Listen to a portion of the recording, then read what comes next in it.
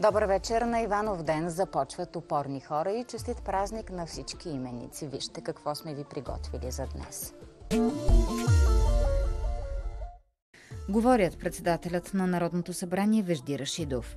Има ли шанс за кабинет в рамките на този парламент? И още, бившият енергиен министр Румен Овчаров.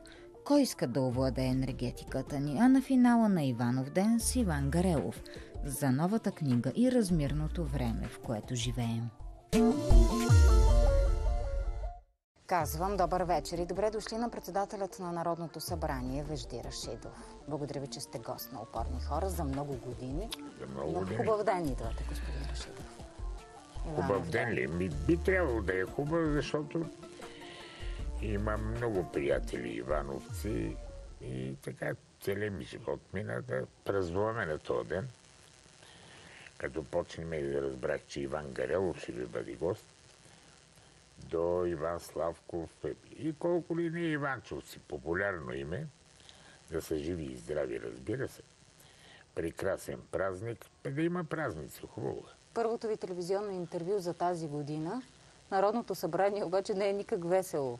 Напротив, скандали, Ех, където има работа, не е весело, разбира се. ма не и много продуктивно. Или вие ще Второ, кажете аз нещо леко друго. съм...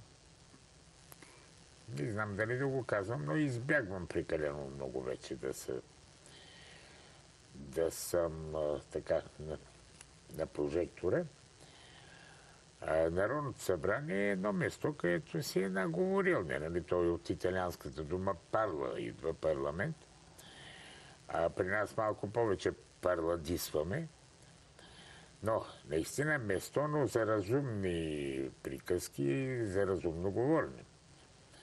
А понекога се изпускат нервите и панаира е доста голям, което аз мисля, че не е добре пред обществото това да се демонстрира. Нека да има позиции, нека да има всеки своето виждане, но начина по който трябва да се устояват позициите, смятам, че е малко различен. Защото усещането е за предизборно говорене. И то от ден първи. Вижте, това стана някаква мантра, пак се върти. Значи предизборно мога да говориме простоти колкото си искаме. Това ли са избори? Така ли ги печелим? Е, то затова е Аз такава смятам, че един избирателната политик активност. изграден и преди избори, и след избори, той трябва да бъде човек с ясна позиция и с много категорично и чисто говорене. Простащината нито е преди избор, нито след избор. За съжаление, ние това го ползваме острия език и по така тип гаменски език по време на избори, защото явно обществото го научихме, така да му е много хубаво, когато изпростееме. Аз мятам, че не е бъдещето това. И рекордно ниско доверие у Народното събрание. И още по-низко ще бъде, ако това е поведението, разбира се. Тук аз го казвам много отговорно, защото самия аз съм притеснен да оставим доверието и в никакъв случай никога не прощавам на хората, които си дават гласа. Когато си дават гласа и те, които ни си дават, да мислят. Защото всеки парламент е това, което те избират. Или всеки парламент е онова, което не избирайки, не гласувайки, те се правят възможно да има. Затова обществото също носи отговорност. Преди избори ние трябва, вижте, френския фермер, колко простичко при него всичко. Чете програми, българите не четеме програми. Гледа неговата крава или кравички, кой по-добри условия дава тая, това да, да развива скотовътството, животновътството и отива сутринта много рано да си пусне бюлетината за този, който ще му даде шанс кравите да му са му добре и здрави и нахранени и бърза във фермата, защото сутринта пари ще трябва да пие кав... чай с мляко или кафе с мляко. Или само мляко. Ама тук са Така излъгани избора- българските граждани. Ето там е цялата работа. Е. Лъгани, лъгани, лъгани. Накрая си казват, пак ще ни Е, излъжат, все пак няма да се е разберат. Чист в бяло като бисер Киров, иначе всички са лъгани. Ми да не се лъжат, бе. Какво значи ти да народа лъган лъган? Нали за това е народ? Да гледа кой го лъжи и като го лъжи да ни го избира. Вижте, ние търсиме оправданията. Няма оправдание в тази история. Нашата некомпетентност, нашата неглижиране на живота, не на парламент, на живота, От каквото си избереме, това е нашия живот. И няма такова нещо. Господин Рашидов, как се чувствате сега на това място? Като човек, който е... много пъти искаше да се отказва от политиката. Право, и беше отвратен в някакъв но се, момент. се случва така, че попадам там, където най-малко съм мечтал. Как се чувствам? Чувствам се за отново отговорно, разбира се. Не, не съм го искал, не ми е било местото. Но имаше един хубав лав. Бездарието на многото ражда таланта на един. Или несъстоятелността на един създава това състоятелността на друг. Този парламент трудно щеше да излъчи, когато е Орел Рак и Штука, председател. Но има законопроекти, които трябва да влезат. Вижте, България може да влезе в Шенген. Затова ще седиме по празниците по 10 км опашки за Гърция. Защото ние много обичаме да ходим до Гърция, но опашките ни чакат. Разбира се, сега валутата не съм сигурен дали ще е най-хубавото нещо, че ще ги сменим, но ако не из, изравниме стандарта с Европа, поне малко сме направили крачка към Европа, да се надяваме, че при едно добро управление България ще намери пика на инфлацията някъде и то ще спре и трябва да се отласне нагоре. Ама трябва да има редовен кабинет. За всичко това, Точно за което така. говорите вие. Има ли шанс с третият Точно мандат? Така. Видяхме вчера какво да се случи. Връщам се на това гласуване. Аз бех се отказал, твърдо не желаях да аз се направих отвод. Да, да помним. Да, но вътре хората видяха, че са в безисходица, политиците на председателски съвет. И тогава помолих, ако ми гарантират мнозинство, бих станал, айде да си дам жертва свободата. Ако това звучи по-литературно, разбира се в името на българите, в името на същия този наш народ, за който говорим и че понекога трябва да е доста отговорен, ще отделя това време само-само хората да ни страдат. Хората да имат бюджет, да имат пенсии, заплати, бизнеса да може да се дофинансира или каквото да се отласне вече от тая криза, да може да имаме производителност по-висока. Та разбира се на България, за да може да продължава да функционира, да топти това сърце и трябва още малко кръв. Има какво да тласка. Имам предвид инфраструктура да се направи. Много неща трябва. Ремонти, много ремонти. да се направят на училища, детски градини. Бе, кото да вземе тези пари. Квото и да вземе. Разбира се, че няколко законопроекта трябва да влезат, които да ни дадат шанс скоро да бъдем в Шенген. И те скоро ще влезат. Не, на президента му беше обещано октомври месец. Аз не съм му обещал на президента. Президента правилно иска да му обещае, защото той сега в момента е кара влака. И разбира се, негова грижа е да преговаря за българското влизане в Шенген. И той е отговорен човек за мен. От Австрия му обещаха и казаха, изпълнете това и това, когато става въпрос за корупция и октомври месец 23-та година. Большинството ни подкрепят. Австрийците малко поеха една особена позиция, защото а, не България е виновна за емиграцията от 75 милиона, милиона в, и хиляди в Австрия. Само Милиони ли бяха? Хиляди бяха. 75 а, хиляди. Хиляди бяха. Вижте, един-два автобуса, два микробуса. Това не е поток бежански. Това са прецеденти такива, които едните ги фащаме, другите изпущаме, все едно – всичко това се мъчи да работи. Но а, австрийците много добре знаят откъде е потока на беженски. Некъде по Егейско море се случва всичко. И нали знаем там колко и минават. Зато и казвам, че беше това нечестно от страна на австрийци. Но не, не бива да ги хокаме, така са решили, така е. Не е трябваше ли България да приеме ответни Но мерки? Нидерландия е една страна, която аз мога да изкарам косурите колкото си поискате. Аз ма виждат, че след като не отвърлиха, корупционният скандал гръмна в самия Европейски съюз. Катаргейт. Така, Огромен корупционен защо скандал. Защо ви разказвам това? Не са най-големите цвета на света, въпреки че им отглеждат цвета холандците не са те. Защото, казвам го, защото България се изпълни всички задължения, които Европа изискваше. И аз смятам, че българската страна, моята страна, не заслужава да бъде унизена по този начин. Е, тогава трябваше ли някакви ответни мерки? И Мецола тогава ми каза, ние сме за, ще разговаряме и се разговаряли. Тя е една прекрасна дама, хубави разговори съм имал с нея. Е, какви мерки? Когато една от страните не гласува... Ние да наложим вето за нещо друго. Когато Виж, става въпрос за Нидерландия да и за Австрия. Семейство не е хубаво. Ето аз до сега ви изброих, че мога да изкарам косури на всички. Но това пътя, в кой... това ли е пътя към едно семейство, където искаме всички да сме заедно? Ма казвате, унижиха ни. Е по... Да, разбира се, е така. България пак по-хигиенично се държи. Аз единствено бих желал тя да не се държи робски. С достоинство. Защото като един Орбан, ако и ние изкараме кирливите ризи на Европа, няма да бъде нито семейство, нито че е много хубаво, нали?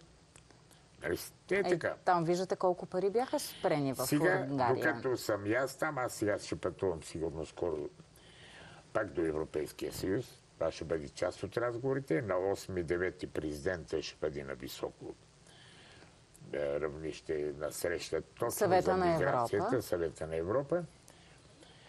И, и двамата говорихме, имаме задачата наистина да подхвърлиме усилия, наистина най-накрая България да спре да бъде унижавана, да си влеземе там, където не е местото в това семейство, да стабилизираме собствената си економика, да се отласнеме от дъното, малко да се вразумиме. Това не го виждам за сега, малко е трудно. Ако не се Даже невъзможно, господин Рашидов, изглежда. Не, И невъзможно. вие вътре в Народното събрание го виждате. Не, невъзможно. Има още един шанс. Е, това ви питах преди малко. Аз съм човек до последно, докато не се пробват шансовете, няма какво толкова се отчаиваме. Но ако този шанс не се материализира, нямат шанс така наречените политици. Сега, помните ли какво ми казахте тук преди няколко месеца? Че е възможно системните партии да седнат на една маса и да разговарят. Сега може ли да го видим? Под системните партии имам предвид ГЕРБ, БСП и ДПС. Аз не разбирам много. Ко значи това системна партия? Стабилните партии да печелят избори и си са и парламента. Аз бих казал, те не са системни, а по-опитните. Да не ги наричаме статукво, защото някои така ги наричат. Какво значи статукво? Наим Сулейманов като е три пъти най-много олимпийски шампион, статукво ли е сега по един път да получава или два пъти? Вижте, който се прибори, изборите са една борба, кой ще бъде харесан, прият, гласуван и кой ще представлява част от обществото в този парламент. Аз се опитвам така да ги, иначе лепим едни сложни лафове, едни... Абе не е и така. Нали простотията не е политика, отдеве се разбрахме за това. Така и статуквото не е определение за политик. Да, Добре, опитните да партии може ли да седнат на една да маса да управляват, да разговарят, въпреки че и ГЕРБ казва без ДПС и БСП, и БСП казва без ГЕРБ и ДПС. А нали... какво значи това? Значи нови избори така до безкрай. Ми тогава до Докато безкрай няма консенсус. Отпаднат, както имаше един велик, световно известен до Драгоман и до Капоколе шоумен, дойде, направи две години, можа правителство да има, направи си шоуто човека, сметката, фактурата я оставихме на българския народ и се прибрал отново да си прави човека Ама нещо. с субсидия, господин Рашидов, нали така? Ами пари държавни. Сега, като казвам, това не е смешно. Аз не го опрек. Две години ние нямахме правителство. Бяхме парни на избори. Две години от живота на едно общество, на един народ е много време. И още две години ялови. Питам какво се случи. Българският народ е отвратен най-малкото. Е, За това и не излиза да гласува. Това са много време един мандат отнет от И много пари похарчени за избори също така. Всичко би човек. Ненужно изхарчените пари. Без яловите милиарди. Изборните пари. Всичко това са на халос похарчени пари, без да сме създали поне едно нещо, без да сме посадили поне едно дърво за България. Добре, с третия мандат може ли нещо да очакваме реално да се случи? Има ли значение на кого ще го връчи? Президента, на коя парламентарна група? Вие от ГЕРБ призовавате за пореден път да бъде на Демократична България. Да, понеже вашето предаване се погледа, гледа се така, повече се гледа от някои политици. Вижте, държавата има нужда да се успокои малко. Леко да захапиме стабилното. Година, две, няма значение. Малко да балансираме тази топка на омразата. На... Това не носи нищо. То не ражда нищо. То е безплодно дърво. Няма плодове. Затова един трябва да вземе. И сега ще им подскажа от този екран. Не съм го правил. Песта си думите, защото думи се казват на човек, който има нужда от този екъл. Те се плашат. Кой ще носи отговорността? Ама ако е експертно, ама ако не е експертно. Вижте, партиите, които ще участват в една коалиция, ще си дадат четирима вице-премиери, ще си разделят Министерския съвет на четири всяка партия е по един вице-премьер, който ще отговаря за министрите си и експертни министри. Така ще имаш и експерти и ще носиш политическата отговорност. Що не го направят? Толкова ли е сложно ти да туриш един партиен, твой функционер, да отговаря за онази част от Министерския съвет, която примерно се полага. Тогава експертите да изведат държавата че най-хубавото яйце го прави този, който може. А не толкова, Ама който би има представа за кръгло яйце. гледа към електората, към твърди електорат, към избирателите и да не загуби един-два мандата. Такова е усещането. Вие ме чухте много хубаво. Чух ви. Аз не казах един да управлява. Казах, ето, четирима. Четири партии, една коалиция, четири стигат. Има ги. Напоследък така, дори аз и аз се смея, има коалиция, вижди се казва. Точно така. Тази. Добре, бе, Има коалиция, коалиция на войната, Това е самолети, е какво ли още не.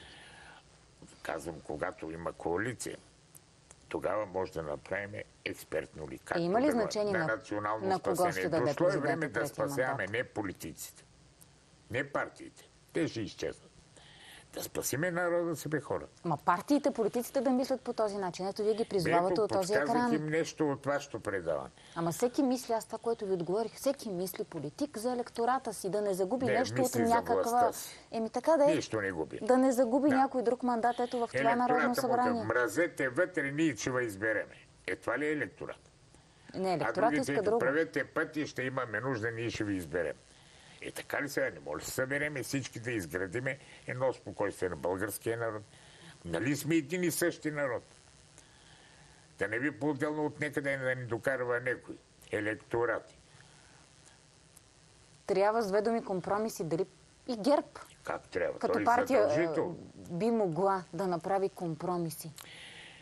ГЕРБ направи много компромиси. Компромиси относно мисля, че ДПС и БСП. Смятам, че и журналистите забелязаха. Беха съгласни на това, беха съгласни на това.